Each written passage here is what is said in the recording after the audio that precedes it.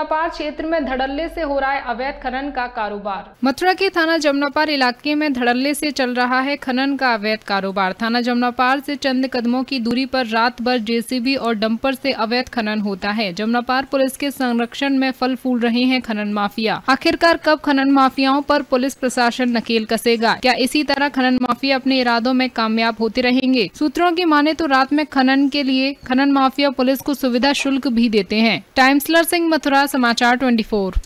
मथुरा के